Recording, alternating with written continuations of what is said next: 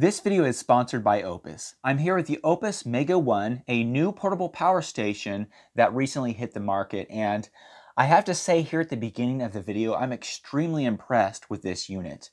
It performed very well in the tests that I'm going to show you and describe, and in addition, it's extremely affordable, it's well built, and there's just a whole lot to like about this power station. So with that being said, let's go ahead and dive in.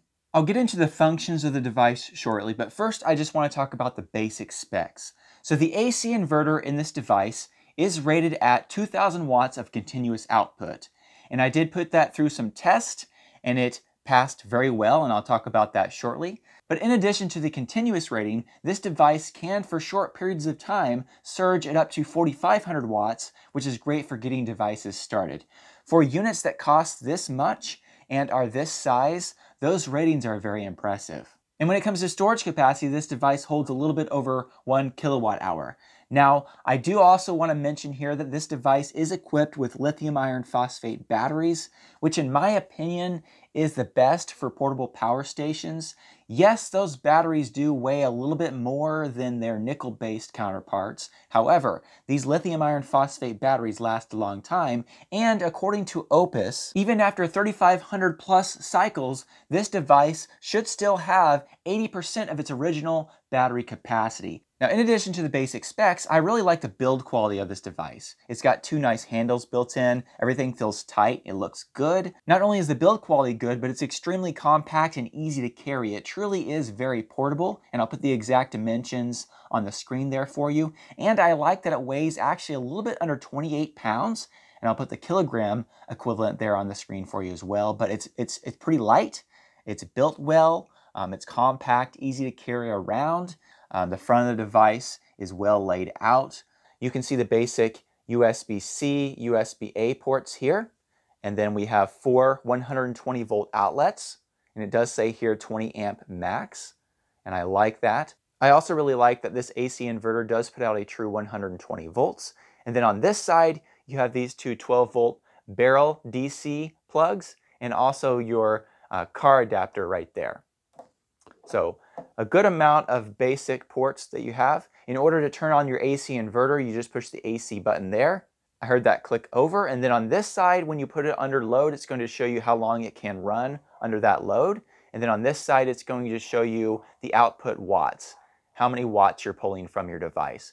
If you want to turn on these DC ports, once again, you just push the DC button there on that side or that side to turn on the various ports. And then to turn them off, once again, you just push that button.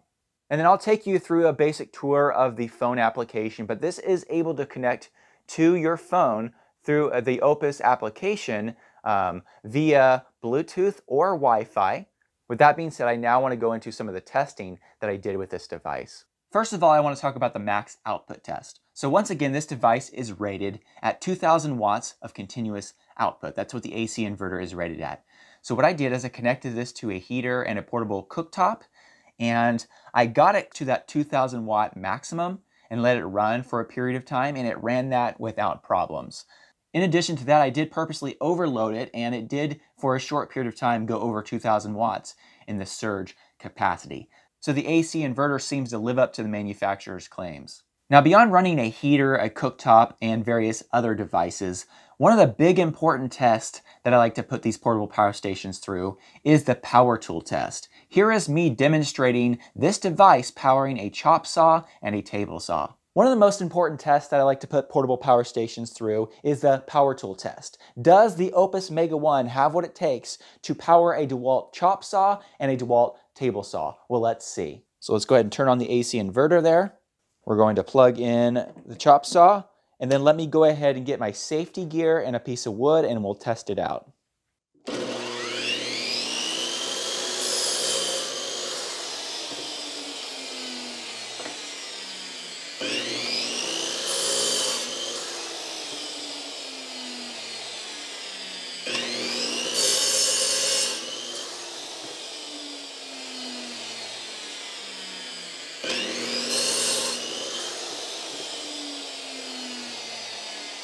I'm extremely impressed with the performance with the chop saw. It really didn't hesitate at all, and it just easily powered this saw. And that's saying a lot. I've tested a number of portable power stations on this channel. And even of the ones that did run the chop saw, sometimes it took a minute for it to build up speed and you could tell that it was struggling a little bit. But this one did an incredibly smooth job of powering this chop saw. Let's now try the DeWalt table saw. Okay, let me go ahead and plug this in. Got my safety gear on. Let's go ahead and turn on the saw.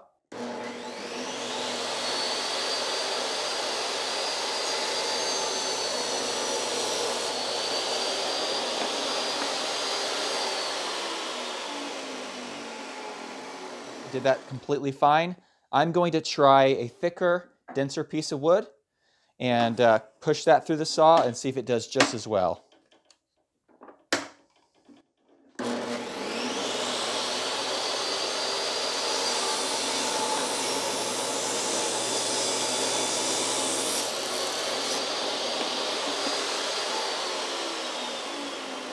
For a unit that is this size, this weight, and the price point that this is at, it runs the power tools without a problem.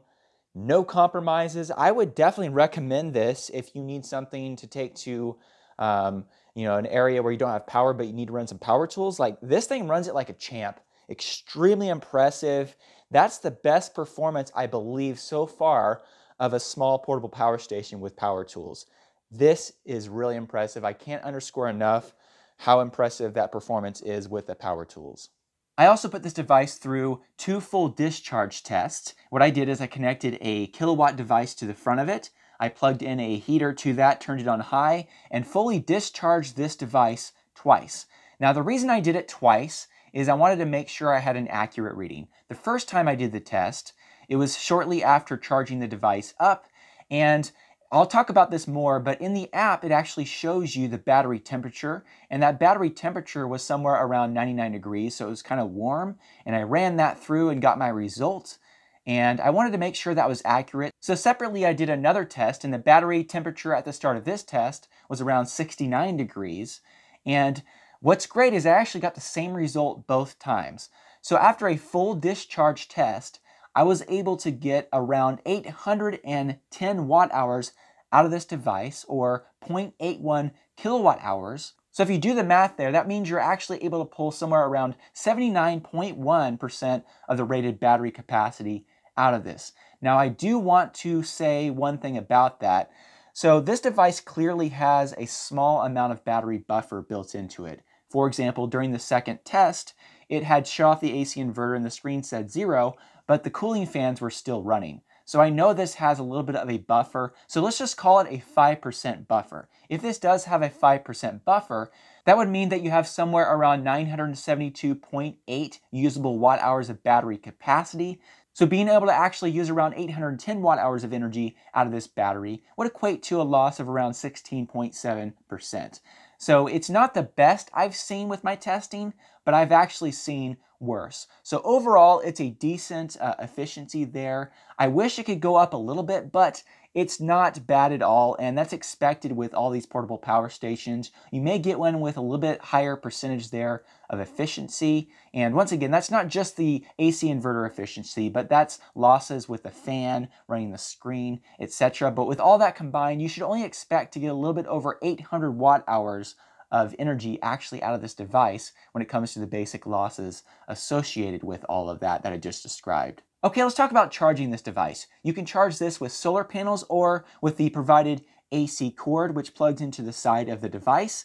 And according to the manufacturer, this device on the high setting is able to charge it up to 1400 watts and on the standard setting, it's able to charge at somewhere around 700 watts. Now in my testing on the fast setting, I was able to see somewhere around 1360, around the 1360 watt range of charging, which is decent. And when it comes to the standard setting, it was charging somewhere mostly in the 740 watt range.